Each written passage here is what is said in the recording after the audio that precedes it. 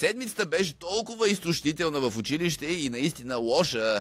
Дори взех петица по математика. Да. Щастлив съм, че вече е уикенд, време е да си почина малко. Ще играя малко Roblox. Сега просто ще играя любимата си игра. Въпреки, че съм я играл хиляди пъти, сега ми трябва. Юлианела, моля. Ах, мама ме вика. Мисля, че вече се досещам за какво става въпрос. Изобщо не ми се занимава. Юлиан Вогел, идвай веднага, моля. И сега надолу. Да, аз съм тук. Какво има? Е, най-накрая. Ето те, Юлиан. Не искахме ли да говорим за нещо? Ами, за какво става въпрос? Юлиане, моля те, сега спри с тази си игра. Знаеш много добре за какво става въпрос. Взе си двойка на последния изпит по математика и трябва да поговорим за това. Точно така, Юлиан. Татко е прав. Но това ме изумява напълно. Обикновено обаче логическото мислене е толкова добро. Какво се случи по време на математическия тест? Ами, не знам, беше нормална математика, но после изведнъж се появиха букви... Да, ама... Момент, Юлиан. Но да не започваме от сега. Изглежда, сякаш наистина имаш проблеми в този случай. Може би Хана може да ти помогне или нещо подобно. Арге, Зана, не съм чак такава звезда в математиката. Как ще ми помогне? Освен това, не ми трябва помощ. Математиката просто е странна в момента, защото има букви, но... Това ще мине. Всичко е наред. Хей, това го чух, Юлиан. Хайде де, математиката изобщо никак не е смешно и освен това не съм зле по математика. Всъщност съм се подобрил доста и мога да ти кажа, с буквите няма да стане по-малко. Аз мисля до сега не съм имал двойка по математика, така че ако ти мога да ти помогна и после ще видим кой всъщност е по-добър по математика. Не съм сигурен, че можеш да ми обясниш това. И това с буквите в математиката изобщо няма смисъл. Погледни, Юлиан! Знаем, че в момента математиката не е любимият ти предмет. Но ние просто вярваме, че с правилната помощ скоро ще можеш да видиш подобрения. Аз мисля, че е наистина страхотна идея, че Хана иска да ти помогне. Хайде, Юлиан, опитай се и дай шанс на обучението. Юлиан, а, математиката наистина е важна. Не става дума само за числа и уравнения или букви, а за решаването на проблеми и логическо мислене. И в това наистина си доста добър. Мисля, че просто някъде има малко спънка и ако положиш малко усилия, ще се справиш много бързо. Надяваме се математиката да стане лесна за теб. Имам идея. Нека направим сделка, Юлиан. Аз ще ти За дам такава седмица. уроци по математика. И ако след това все още мислиш, че математиката е безсмислена, ще почерпя със сладолет. Добре ли е? Добре, звучи страхотно. Супер, залагаме. Ако успееш да го направиш така, че да го разбера, тогава наистина заслужаваш това сладолет. Добре, деца. Това звучи много добре. Но, Юлиан, а, трябва да дадеш шанс на Хана и наистина да сътрудничиш. И Хана, ти също трябва сериозно да искаш да я обичаш. И, Юлиан, трябва да учиш по-добре математиката, разбра ли? О, сега съм наистина облегчен, че намерихме временно решение. Това ни радва. Да видим какво ще стане. Какво става? Добре, Юлиан, тогава да започнем с уроците по математика. Но преди да започнем, искам първо да ми кажеш какво намираш за трудно в математиката. Защо се правиш на главен учител сега? Мислил съм, че искаме просто да решим уравнението. Ами да, добре.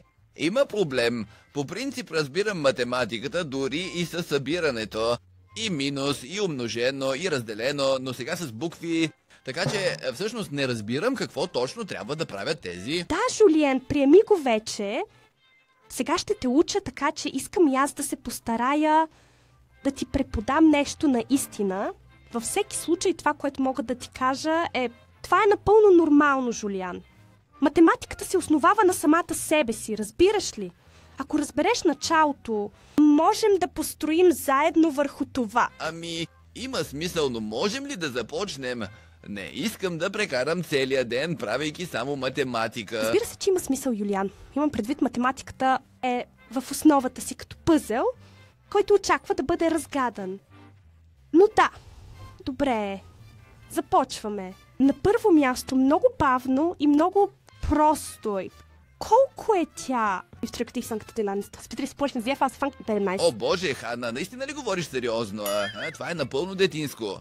7 плюс 5 прави 12. Това изобщо не е проблемът. Става въпрос за уравнения сега.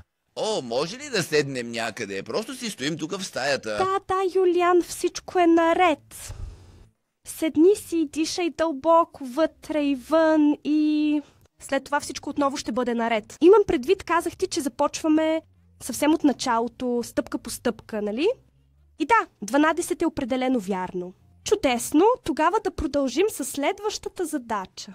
Заглавието е 15 минути. Утре спомняте фас von Кател Sears. Ах, окей, 15 минус 6 са 9. Перфектно, Юлиан. Виждаш ли, ти можеш да правиш математика. Добре, но сега ще пробваме нещо с умножение и деление. Какво е 4 пъти? Умножи па 3. Да, понякога мога и аз. И това е наистина лесно. 4 по 3 прави 12. Страхотно! А ако разделиш 12 на 4... Какво получаваш след това? Е, това е ясно като бял ден. Това е почти обратното на задачата, която току-що постави. 12 разделено на 4 прави 3... Супер, Юлиан! Така, сега вече сме научили основите на математиката. Имахме събиране, изваждане, умножение с минус и също така делене. И да, в основата си това създава основата за по-нататъчно учене. Е, давай сега да пробваме малко предизвикателство. Така, Юлиане, можеш ли да ми кажеш какво прави 8 пъти 5? И след това резултатът се дели на 10.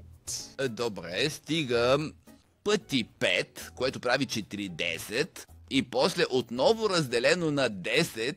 Добре, изчакай, трябва да премахнем нулата от двете страни и тогава остава 4, 4... Виждаш ли, математиката е моят любим като игра с числа. И ако знаеш основните правила, можеш да решиш всеки проблем. Това беше наистина фантастично, Юлиан. Да, всъщност това можех да го направя и преди, не за това ставаше въпрос на изпита, но все пак е забавно. Имаш ли още задачи? Да, разбира се, Юлиан. Но, както ти казах, първо ще печем малки хлебчета и разбира се, имам още задачи за теб. Току-що започнахме. Хайде сега да продължим с уравненията, които така сгафи в математическия изпит. Значи това може да се случи и виждаме какво още можеш да научиш. Във всеки случай, сега ще взема бързо химикалка и хартия и тогава така, Юлиан, ще ти покажа, че това с уравненията изобщо не е толкова лошо, колкото си мислиш. Ще започнем и с нещо лесно. Можеш ли да ми обясниш как би решил тази уравнение? О, не, тези букви са отново до числата. Това изключва мозъка ми. Не разбирам какво има общо с математиката. Не се притеснявай, бъди спокоен, Юлиан.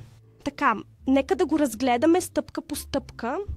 Ще ти покажа и трик как да си го запомниш по-лесно. Значи, уравнението е 3х. Плюс 5 е равно на 20.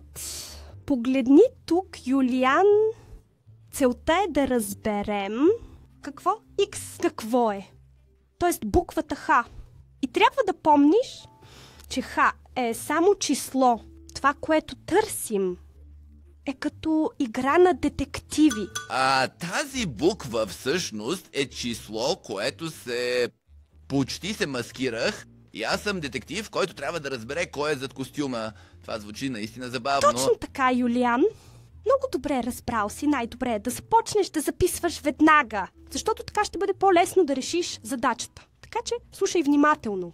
Първо изваждаме 5 от двете страни на уравнението и това ни оставя с 3 по x равно на 15.